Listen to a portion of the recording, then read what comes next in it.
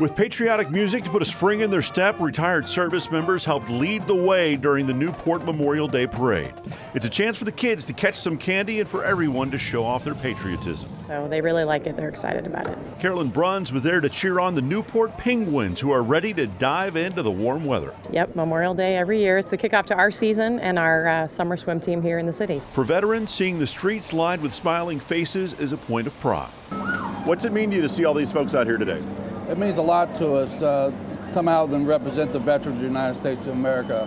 Uh, without the, you know, without the soldiers and veterans, these people wouldn't be here today. And the parade is really just part of the celebration here in Newport. After they wound their way through the streets, the city also took time to make sure people know the reason for Memorial Day.